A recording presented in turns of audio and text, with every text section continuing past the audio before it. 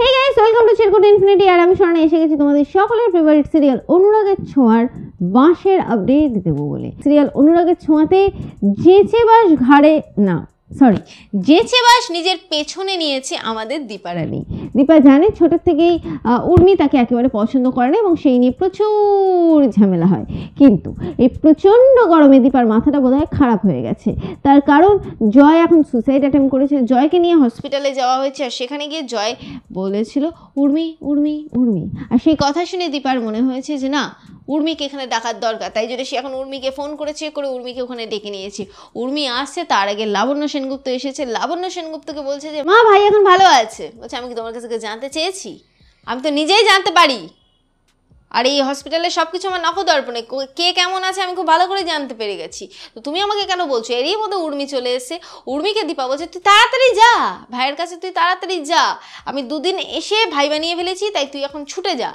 এখন লাবণ্য সেনগুপ্ত উর্মিকে ডেকে বলছে যে, এই শোনো, এদিকে এসো, তোমাকে যে আমি কথাগুলো বলেছিলাম সেগুলো কি তুমি ভুলে গেছো? তোমাকে কিন্তু আমি ওই বাড়িটা দান করেছি। তো উর্মি এখন কোনো কথা বলবে তার আগেই দীপা এসে বলছে, আরে তুই যা! বলে তো উর্মি চলে গেছে। উর্মি গিয়ে ওখানে কি করছে? উর্মি গিয়ে সূর্যর পিঠে হাত বোলাচ্ছে যে, এবার তোমার ভাই আর আমার বিয়েটা হবে আর তারপরে আমরা এক ছাদের তলায় মানে তোমার ভাইয়ের সাথে না, আমি তোমার সাথে এক ছাদের তলায় সবসময় তোমাকে দেখতে পাবো সব কিছু করতে পারব মানে যা খুশি তাই। সূর্য মহা চাপে পড়েছে, সূর্য বলছে, তুমি একটা মানুষ। আজকে আমার ভাইটা এই অবস্থায় পড়ে রয়েছে, এখন উর্মি বলছে, আরে ভাই, আমি কি করব? দীপা তো নিজেই যেচেই বাড়িতে নিয়ে যাচ্ছে, আমি কি করব?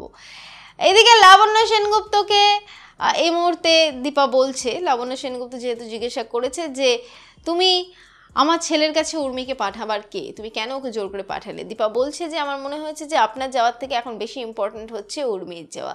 আমরা জানি একটা সময় পরে মাকে সরে যেতে হয়, বউ দায়িত্বটা বুঝে নেয়, কিন্তু ভাই, এ তো বউই হয়নি। এ আসলে তো তোর সতীন হতে চাইছে, তোর যা হতে চাইছে না। কিন্তু সেটা আমাদের দীপা বুঝতে পারছে না, তাই জন্য দীপা কষিয়ে একটা থাপড় খেয়েছে আমাদের লাবণ্য ম্যাডামের কাছে এবং তারপরে লাবণ্য ম্যাডাম গেছে এবং সেখানে যাওয়ার পরে নিজের ছেলেকে আদর যত্ন করছে। এদিকে সূর্য এসে ধবাস করে বসে পড়ে বলছে যে থ্যাংক ইউ দীপা তুমি না থাকলে আজকে আমার ভাইয়ের অবস্থা সত্যিই খারাপ হয়ে যেতে পারতো।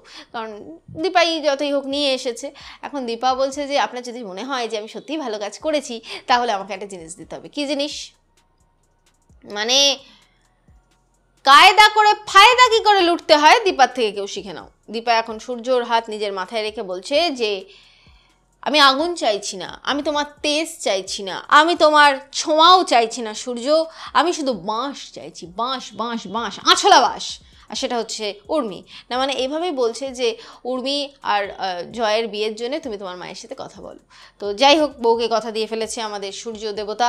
এখন কি করবে সূর্য বুঝতে না পেরে সূর্য এখন বাড়িতে গেছে। বাড়িতে গিয়ে দেখছে তার মা আত্মীয় স্বজন রেডি করে ফেলেছে। পুষ্পিতা বলে একটা মেয়ে এনে ফেলেছে এবং তাকে বলছে যে, তার সাথেই নাকি জয়ের বিয়ে হবে।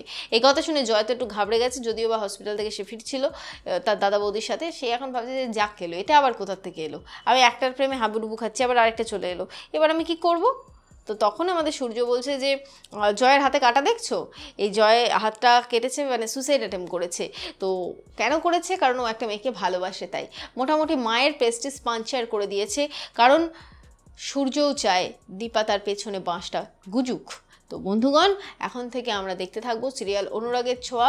দীপা কীভাবে, কোন কোন অ্যাঙ্গেলে বাঁশ নিচ্ছে নিজের পিছনে? তো অবশ্যই করে দেখতে থাকব সিরিয়াল অনুরাগের ছোঁয়া, স্টার জলসা ও স্টার জলসা এইচডিতে আমার ভিডিও দেখার জন্য ও লাইক কমেন্ট শেয়ার করে চেরকোট ইনফিনিটি চ্যানেলটিকে সাবস্ক্রাইব করার জন্য অসংখ্য ধন্যবাদ সকলকে।